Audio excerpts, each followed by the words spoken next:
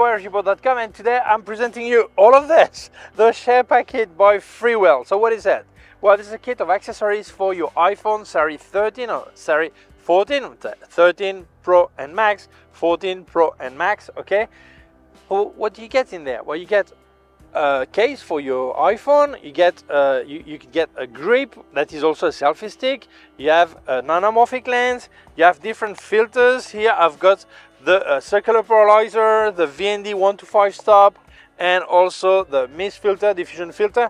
So I'm going to show you everything and explain what it can do for you, how it can help you better your video or your uh, photography or give different style or, well, you'll see. So let's start.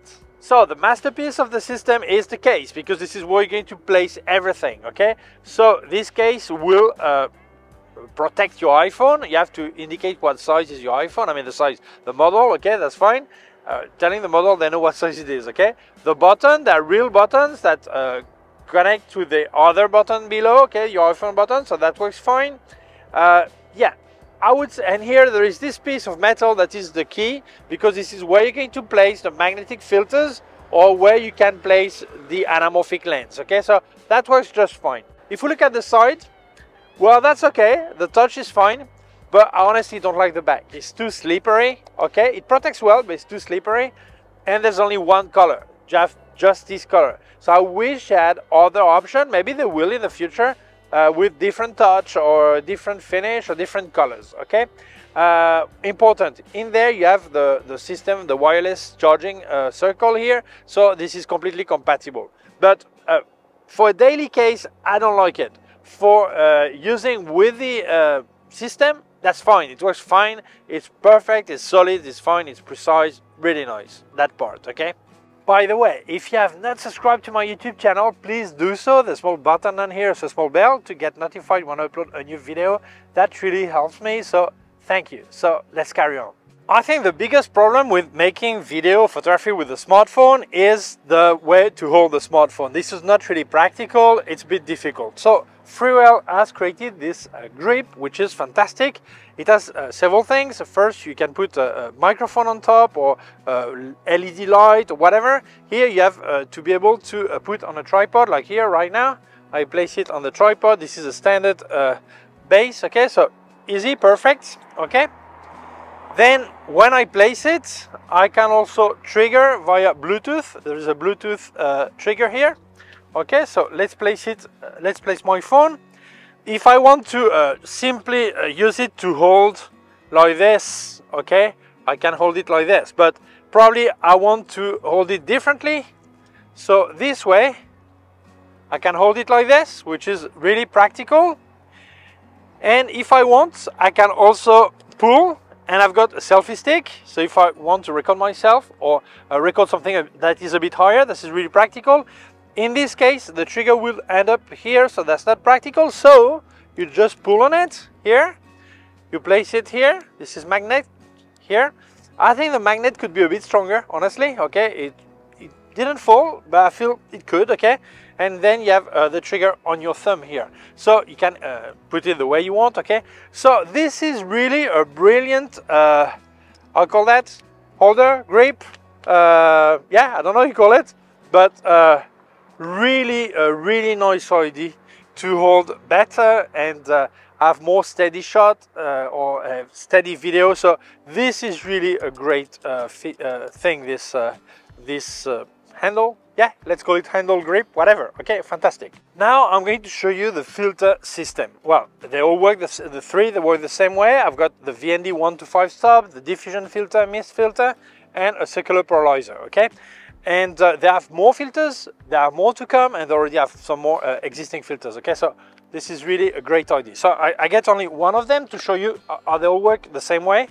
I get one they all come in a plastic box like this really nice really well protected they all have a cap as you can see and they work in a magnetic way okay so I just place it here and that's it it's placed okay uh, one well two things first uh, what's fantastic is that this is uh, uh, the size for the filter. It means doesn't doesn't matter which iPhone you have, the 13 or the 14 or future iPhone. Uh, you just change a case and this will fit. In case uh, Apple will change the way their uh, lenses, uh, the size or the way they're placed, okay, exactly, or the distance between them, the good thing, you can actually unscrew this. You have four screws here, and uh, Freewell would make a specific metal part here. You would just have to place it back on the system, and you could keep using your filters. So this is fantastic. When I place it here, it is magnetic. As you can see, it's really easy. I remove the cap, and that's it. One small problem, I think uh, Freewell could better. You have the name of the filter, it's on CPL just here, okay, on the side. But when I place uh, the cover, uh, I cannot see it anymore, okay? So that would be brilliant to write it in the back here. So uh, this way, when I've got all my filters, I can know straight away which filter it is. I don't have to think or uh, try to uh, remove this and know exactly what it is, okay? That would be a good idea, okay? So now I uh, show you an example of how the uh, polarizer works. Trying the circular polarizer, CPL. And as you can see on this water that's going down the road, yes, you get less reflection, depends when you're on maximum polarizer. I think it's around here, okay? So you see the effect. Now sitting at the steering wheel, I want you to check here. There's some a piece of uh, uh, the car that's getting reflected. Also this black part, plastic and the road, okay? I keep turning, okay? You see there is less polarization right now. So it's more reflection here, more here, the road also. And then when I get to maximum polarization, look at you it almost disappeared the reflection here okay on the on the on the glass the road this is really dark so you really see the effect of uh, polarizing okay testing a polarizer uh, on a green uh, vegetation here nature uh, yes i think at maximum uh, polarization i'm turning all the time okay we do appreciate uh, a bit more contrasty colors a bit more saturated but uh, what I really love is that at the top left, when we see the cloud, the color is not changing depending on polarization, which is uh, a good sign of a good quality polarizer. As you can see, this is really effective. Now I show you the VND 1 to 5 stop so you can see the effect if there's any uh, color uh, shift. Let's look at it. Now I'm testing if there is some kind of color shift with the VND. I'm on one stop and then I'm turning slowly to see if I see some kind of color shift. Two stops, still okay. Three stops. And here, I think from three and a half, four, it becomes warmer. As you can see, I've got, I'm on automatic exposure, okay, so it compensates itself, okay? Takes a bit of time, okay? I think from three and a half, it becomes a bit warmer, okay? So in that part is not completely true color. I'll go back to one stop. Let's wait for the exposure to uh, auto adjust okay so this is greener cooler and then on five stops this is warmer okay honestly i think one to five stop is too little uh, the aperture on an iphone cannot be changed so right now it's really sunny and five stop is too little, too short. But I do believe that Freewell will uh, make more filters because they sent me three they actually have more than that, okay? So I think they will probably get a three to nine stop or something like this, which which would be logical when you have a really bright situation, okay? But still, you see the way it works, that's nice. Now let's look at the mist filter that gives this uh, diffusion, romantic or mystery or whatever you want to call it, diffusion filter. Let's look at it. So now let's test uh, the mist filter here, no filter, okay? Let's get it there. And yes, we do see the mist effect that gives this uh, glowy, uh, romantic or mysterious, whatever you want to call it without and with okay i do not see any color shift okay so as you can see this uh, set of filters is great. You can already work with it. It's really uh, really easy to place to remove. You don't have to change anything. It's a lot faster than screwing anything on it. This is i really love it. Really nice system okay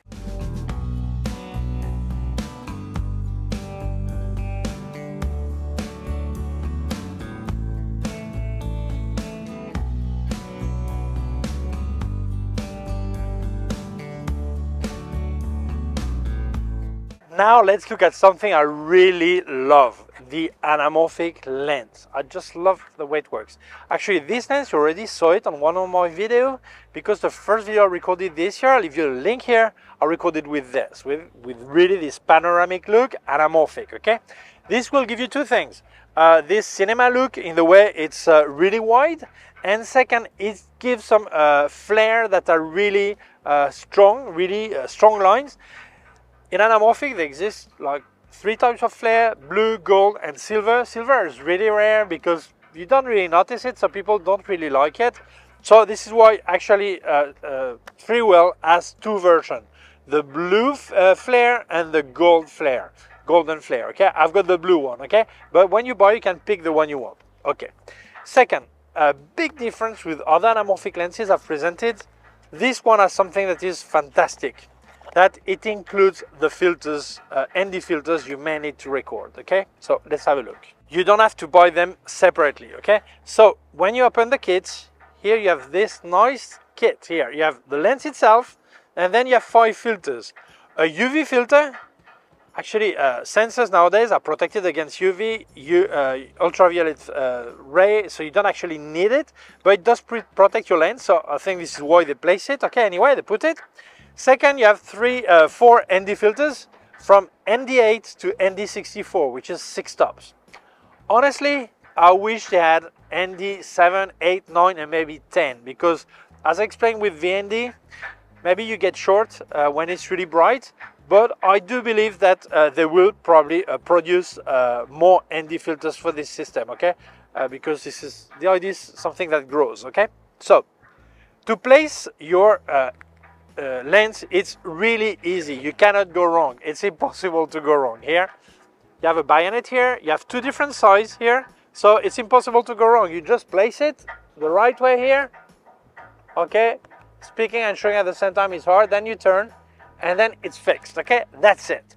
If you want ch to change filter, you just unscrew the filter that's on. Okay, and you place another filter. Very easy. One question is, can I stack filters? No, you cannot stack filters. You can put, you have to put directly the one you need. But there is a simple reason for that. You cannot stack ND filters, okay? Because, uh, well, uh, that maybe could be a problem, okay? Doesn't vignette at all, okay? But you cannot place mist filter, uh, circular polarizer, other VND, you cannot place them on it. But there is a really simple reason. I think uh, Freewell made the right decision. When you want uh, this uh, flare effect, you need to have uh, as less things in front of the lens as possible. If you place a mist filter on top, that will kill the flare. If you place uh, a VND that is actually a two polarizer, that will probably uh, kill the reflection and also kill the flare, okay? So this is really logical. They have this system that places only one uh, filter on it, okay? I was thinking about it, I asked them if I was right when thinking that, and they say, yeah, you're right, this is the reason, okay? So, okay, so if anyone tells you, yeah, you cannot stack, that's the reason, okay? Second, uh, when you actually record with anamorphic lens, it makes a really wide panorama, but obviously it, it compresses everything, squeezes everything on the sensor. So if you want to have a, this look, you need to de-squeeze. Your native app will not do it. Two reasons. First, uh, the native app by uh, iPhone doesn't support uh, anamorphic. Second, on any phone, not just uh, iPhone, also uh, Android, normally if you place a, len a lens on top of your, in front of your camera, it covers the other cameras and that gives problem because all these phones are actually using all three cameras. Even if you select just one uh, camera, it actually uses three of them so after you can uh, reframe or whatever, you have several possibilities. This is why they actually use all the cameras. You cannot cover them, okay? So from the second you place a lens on your smartphone, you need to use a third-party app. For video, actually use Filmic Pro. Why? Two reasons. First, because it supports uh, to have lenses in front of it, and also because it de-squeeze uh, automatically. So I can have directly the way it will look uh, finished, you know, the uh, really panor big panorama and I don't have to do any post-production, whatever. It does it directly. I see it properly on my screen. This is uh, when recording, and once recorded, it's already de-squeezed. So this is perfect, okay? Second, uh, anamorphic gives a lot of problem. Not this one, any anamorphic gives problem with IBIS, with stabilization, okay? So you must deactivate the stabilization on your app. In Filmic Pro, there is option to put it off. So you won't have this uh, really uh, strange uh, uh movement in the back. Uh, uh, when it moves like this, really strange, you won't have it. Obviously, this is a problem if you want to walk without any stabilization, it will move. So this, in this case, you should use a big gimbal. We're going to look at this just after, okay? If it supports a gimbal, okay? Or if a gimbal supports it, okay? So we'll look at it. But right now, I'll leave you some sample I've recorded with this anamorphic lens so you have uh, a bit the idea of how wide it is and also the flare it gives, okay?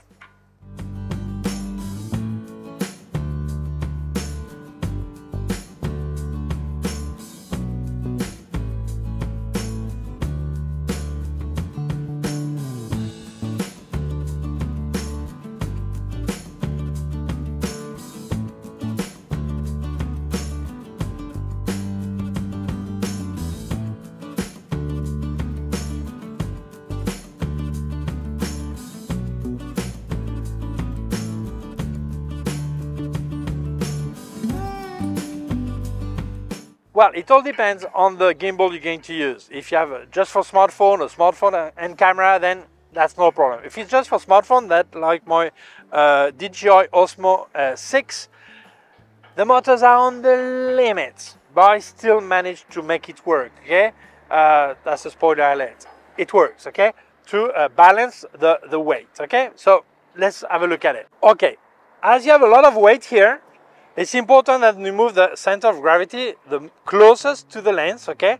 So the support, you should place it really close, but even this way, it will not balance, okay? So I've got something already uh, had with my Osmo 3 because I had the same problem. I bought it on AliExpress, which is this counterweight. You just screw it here, there's a small screw here. You place it here, and this way it will balance, okay? So now I'm going to uh, show you how it balances and show you some results with gimbal. So as you can see, this is placed really close to the lens. I've got the counterweight here. And as you can see, it does uh, balance. It uh, doesn't move. It, that's fine. It does work, the gimbal. I'm going to record right now in slow motion. Okay, so you have a look. Okay, like this, this way. Okay. Now I'm going to go towards the sun. Go up actually didn't put the ND uh, 6 stop. I should have put, uh, I think I've got the 4 stop on it. This is too much light anyway, but for the purpose of the demo, you see that uh, that works, okay? One thing that is really, really positive, I've not noticed any vignetting at any time. Not on the filters, not on the anamorphic lens. This is something I've criticized on other brands that sometimes there's a bit of vignetting. In this case, no vignetting at all. So this is a really, a really, really, really good point. So my conclusion, well, I've got a lot of notes, but I think I've said everything. Uh, well, two things. I hope Freewell will, uh, I hope, I'm sure Freewell will create more filters because I think ND64 and five stops on the on the independent filters is a bit short. So please create more filters, okay? Uh, second, uh, if you're interested, you don't have to buy the whole thing. If you uh, just want the filters, uh, magnetic filters, that's fine. If you just want the uh, anamorphic lens, it's also possible. So maybe you want the full thing, but this is don't have to get everything, okay?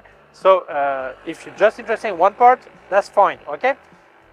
Give, I'll leave you the link in the description where you can get them, okay? So my impression uh, honestly, I think this is a great kit that some people don't really want to carry a full set of uh, lenses and cameras and all this, and they just want to go around with their uh, smartphone, their iPhone 13 series or 14 series.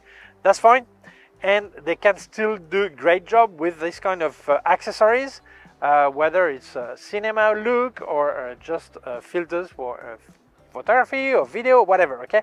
So I think this is great, doesn't use a lot of space, and I think the quality is there. This is really nice, okay? So yeah, I think this is completely recommendable. Uh, if you look at uh, the color shift, yeah, there is no, it's true color, okay? But on the VND, I think from three and a half stop, you do see a, a light color shift. So you have to take it into account. Maybe that's a problem for you, maybe not, depends what you do, okay? If you do a panning, maybe that's a problem, okay? So it depends, okay? So, but the rest is really fine, really nice. So yeah, 100% yes, I recommend it. So thank you so much Freewell for sending me uh, this Sherpa kit. Thank you to you for watching the video. If you feel it may interest other people, please share it on social networks. If you have not done it yet, please subscribe to my YouTube channel. The small button down here, a small bell. If you click on the bell, get notified when I upload a new video. My website, ericgibaud.com. If you have any question, can leave a comment below. Also leave you links of my gear on Amazon, links of everything I reviewed by K&F Concept and flashes by Westcott, and also, uh, and also a link to my PayPal account in case you wanted to make a donation. Thank you so much, take care of yourself, and see you soon. Bye.